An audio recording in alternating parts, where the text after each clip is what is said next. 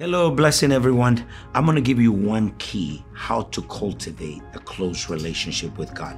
You know, 1 Corinthians chapter 1 verse 8, the Bible says, "We are called unto a fellowship with our Lord Jesus Christ." It is a calling. God is calling you to have that fellowship with his son.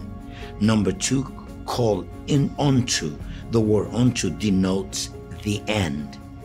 Everything we do at church must lead you, must lead me into having that relationship with God. Are you ready to respond to that call? God is inviting you. It's a very powerful invitation. God is saying, Come, let's have that close relationship with God. You can go to my book and find more keys how to develop an intimate relationship with God. God bless you.